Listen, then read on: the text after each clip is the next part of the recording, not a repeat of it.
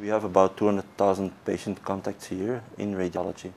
And from those 200,000, more than half is plain film imaging. All the rest is CT, MRI, ultrasound and interventional. So why we went for Carestream? It's um, because we have some old uh, machines but still working really well on emergency and on intensive care. And we tried just to keep the systems like we have them now and add on the fully digital uh, DR uh, plates from Carestream. The mobile equipment was one of the last systems that, that got digitized and the reason for this was that we did not have the technology, there was no technology available that gave us a good solution to digitize our mobile equipment um, before Carestream came up with the, the mobile system. A new system uh, of digitization should be wireless. That was also a very important um, condition for us that it should be wireless because having a wire, this will compromise the use in um, sterile environments like intensive care units and so on.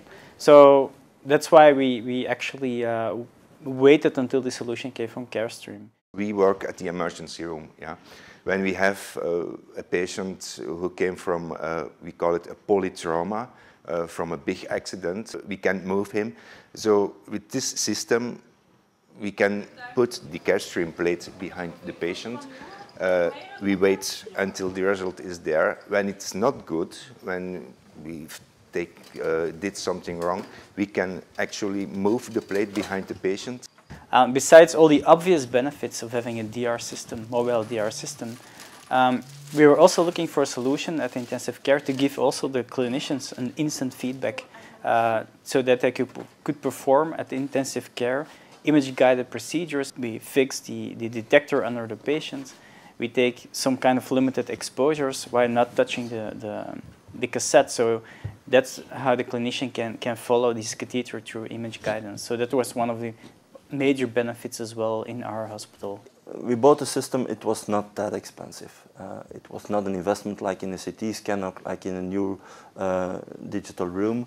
No, investment was acceptable and the, the, the time we win with this system, it, it's enormous. The waiting time for the patients in the emergency ward when the radiographer was on intensive care, this was a problem, this is no problem anymore now. Workflow is a lot better and we can even think about instead of working with two radiographers, go back to one during the night and, and during the morning. Uh, and this is not only working time, but is also money. There is a better quality for the patient. I mean, that's, I, I think, our conclusion because we have good integration. There is a fast diagnosis. There is a fast image feedback. And it's at a lower radiation dose and also at a higher image quality. I think everybody's very pleased. I mean, at every level. Uh, if you talk to the radiation technologists, they're very happy. Also, when we had the first system installed, before we had the second one, um, a lot of clinicians asked us, uh, if you, if you, please come and take this picture of this patient, but do it with a, with a DRX mobile and do not do it with the other machine. So that's why we really, we also felt that there was a need of, of, of having more uh, systems digitized with this uh, mobile solution. Important for us as a university hospital is that we get instant um, feedback on what problems.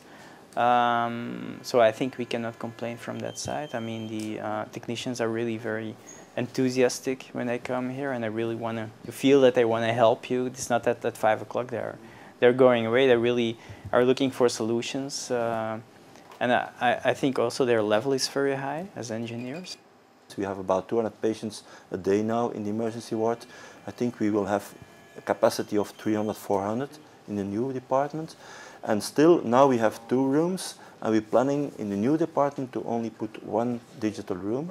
And I think with uh, the mobile detectors, we can cover all the rest. So um, I think, again, this is, yeah, management point of view, it will cost a lot less than it costs now.